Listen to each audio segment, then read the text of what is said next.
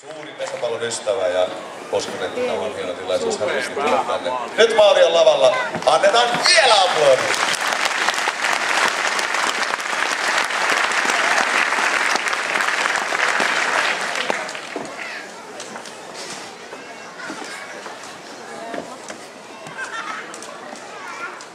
Onneksi olkoon Suomen mestarit. Onneksi olkoon Vimpelin veto. Onneksi olkoon Vimpelin kunta, koko tämä yhteisö ja onneksi olkoon arvoisa yleisö, mahtava yleisö, Suomen paras yleisö.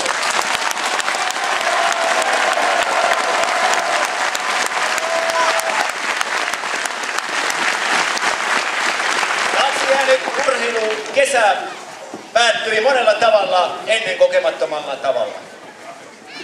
Viime kesänä pidettiin yleisurheilu Euroopan mestaruuskilpailut, oli timanttiliikoja, oli koripallon maailmanmestaruuskilpailut ja monet muut kisat, isot kisat.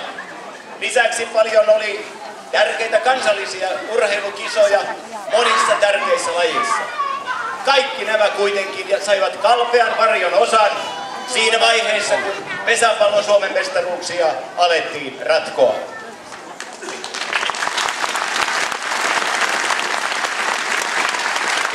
Kesää oli kuultu hienoja uutisia Vimpelistä. Yleisö oli ottanut joukkueen omakseen tavalla, josta uumoiltiin jo edellisenä menestyksen kesän aikana. Ja kun sitten mitalipelit alkoivat, viimeinenkin suomalainen urheilun seuraaja saattoi havaita, että jotain ennen kuulumatonta oli tapahtumassa täällä Vimpelissä. Kun välieräotteluita käytiin, jo silloin huomattiin, että Vimpeli on sananmukaisesti vedossa. Ensin entinen Suomen mestari moninkertainen sellainen Sotkamon jymy otti lukua ja jäi sitten lopulta kantoon.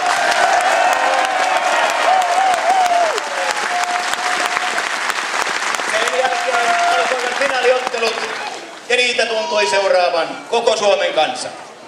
Niin minäkin. Kun Vimpeli kävi toista ottelua tuolla Kouvolassa, voin kertoa teille, että istuin Helsingissä Johanneksen kirkossa eh, muun muassa Esa Rannilan kanssa häätilaisuudessa. Esko Ahon poika Jukka vihittiin siinä häätapahtumassa. Me olimme ja istuimme kirkossa, mutta hyvä yleisö, voin rehellisesti sanoa teille, että luulen, että sekä Esalta että ainakin multa en voi varmuudella sanoa, tuliko se vihkipari valituksi, vihityksi vai ei. Minkä takia en voi sanoa? Sen takia, että niin intensiivisesti koko vihkitoimituksen ajan me Esan kanssa seurasimme hänen nettiyhteydensä kautta. hänen ottaminen netistä.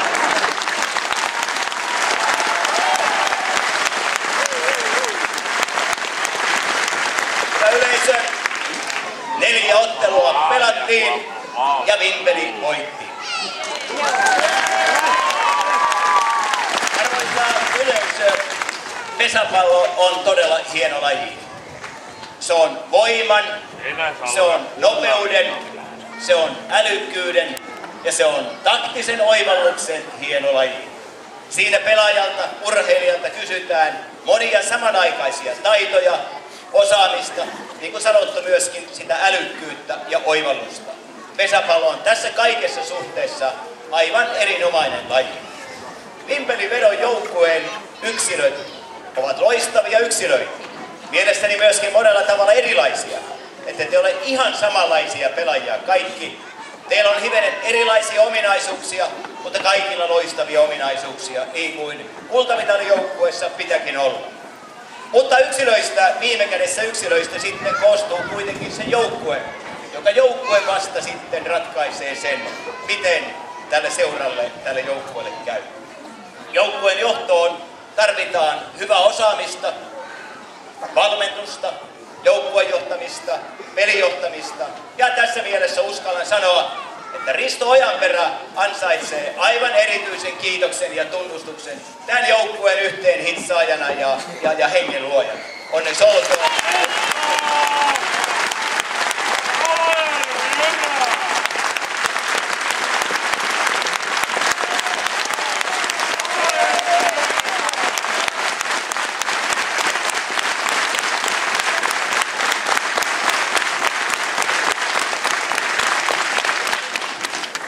Mutta erinomaisen joukkueen ja todella erinomaisen pelinjohtajan lisäksi menestyäkseen seura ja joukkue tarvitsee mahtavan hyvät taustajoukot.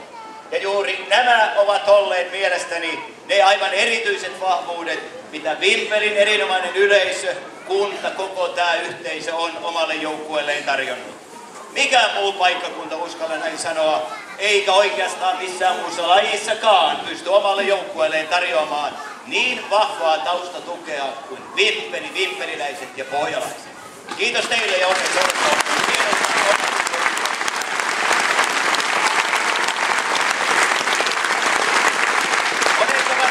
varmasti kyselleet ja vähän ihmetelleetkin, että mikä tällaisen me-hengen, tämmöisen pitäjähengen, tällaisen Vimpelin hengen takana pohjimmiltaan on. En tiedä varmuudella. Minä rohkenen kuitenkin arvioida muutamia syitä ilmiön takaa. Ensimmäinen, ensimmäinen näistä on traditio. Se tosiasia, että tällä paikkakunnalla on pelattu pesäpalloa todella monet vuosikymmenet ja ennen kaikkea se tosiasia näiden vuosikymmenten takaa, että täällä vielä muistetaan ne kultakaudet ja hetket, jolloin naiset ja miehet niittivät kunniaa, olivat loistavia Suomen mestareita. Onneksi olkoon ja kiitoksia vielä teille, taakse jääneet sankarit, päivän niin kuin sankareina taakse jääneet, mutta muutoin uskon näin, vimpeliläisten mielessä edelleenkin sankarina pysyvät henkilöt.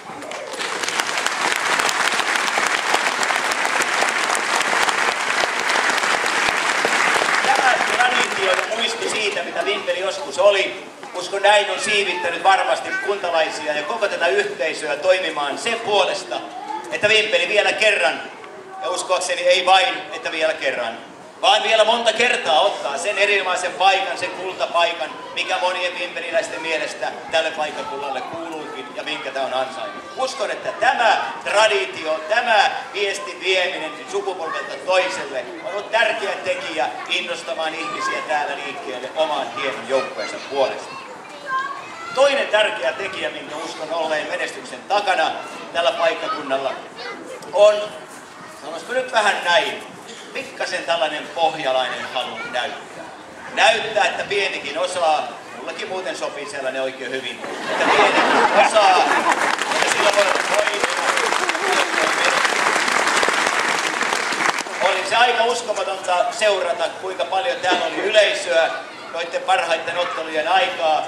Vähän yli 3000 asukasta kunnassa ja 5500 ihmistä likimain paikalla. Missään muussa lajissa en tiedä, millä päästyn ja edetyn ja yllätyn likikään vastaavanlaiseen suhteeseen kuin pesäpallossa ja täällä, täällä nimenomaan täällä Vimpelissä. Uskon myöskin, että tärkeä seikka tämmöisen hengen, Vimpelillä hengen takana on tällaisen yhteenkuuluvaisuuden hengen jollakin tavalla siitä kiinni ottaa. Pienen paikkakunnan menestyksen kannalta on tärkeää, että puhalletaan yhteen hiileen ja ne hiilet voivat olla erityyppisillä paikkakunnilla erilaisia. Eri paikkakunnilla on erilaisia vahvuuksia.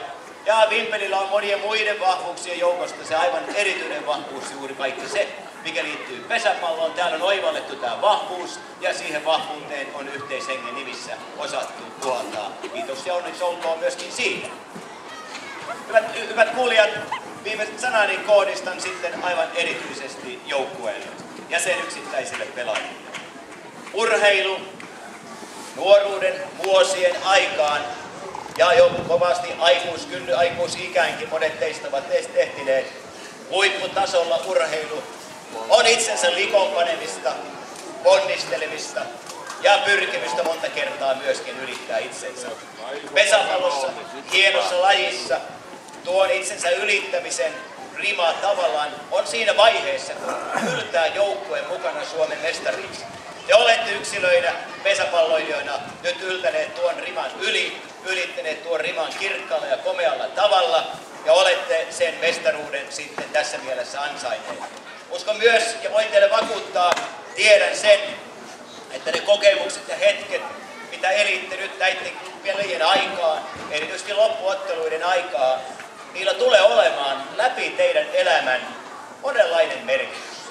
Se monessa kantaa ihmistä siinä elämäntyössä, mitä teettekin, monella tavalla myönteisellä tavalla eteenpäin. Se kokemus, yhteen hiileen puhaltaminen, se onnistumisen hetkien tunteminen, se onnen jakaminen kavereiden kanssa ja sen koko yhteisön kanssa, joka on puhaltanut saman hiileen, uskon, että se antaa teille voimia ja vie teitä elämässänne eteenpäin monella tavalla näiden pesäpallon vuosienkin jälkeen.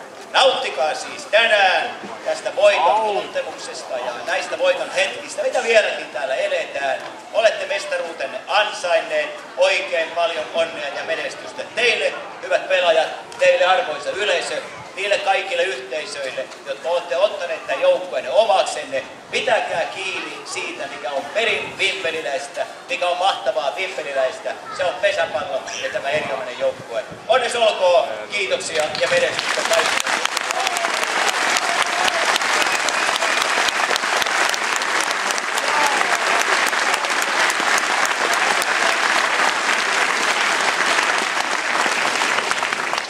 Valtio on niin köyhä näinä aikoina, että välttämättöminkin menoihin pitää velkaa ottaa, niin kuin kaikki tiedetään.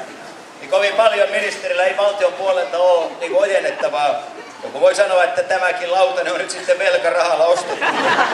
Tänä vuonna niin paljon velkaa otetaan, mutta voi kertoa, että ostettu jo vuosi sitten. Silloin ei tarvinnut vielä velkaa kovin paljon ottaa. Mä haluan tätä hienoa joukkuetta äh, muistaa tällaisella lautasella, jossa on tämmöinen hieno leijonan kuva täällä sisällä. En ala tätä nyt tässä paljastelemaan. Tiedän, että seuralla on joku sellainen paikka, minne vokalit ja lautaset laitetaan. Mä toivon, että tämä on sitten sopii siihen vokalien ja lautasten joukkoon. Tämä on pieni tervehdys valtiovallan puolelta tälle hienolle joukkoille esitettynä. Mä toivon, että Timo Ranta, Torikkalin joukkojen kapteeni, tulee ja ottaa tämän lautasen vastaan.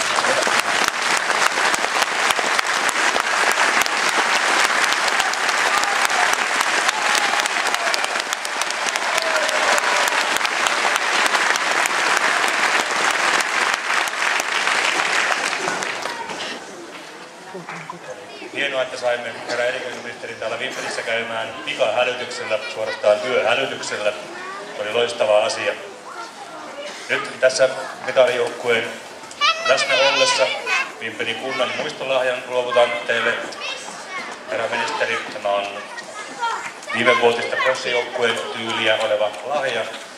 Ja kun me elinkeino ruiskeen tässä kunnolle Vimpelille varmaan saamme tämän mediamylläkän myötä, nythän meillä on hyvä takoumieskin paikalla. Kiitoksia.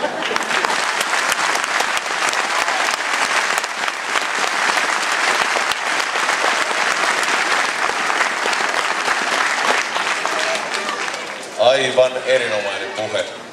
Joku sen osaa tehdä tai osaa puhua mikrofoniin hyvin.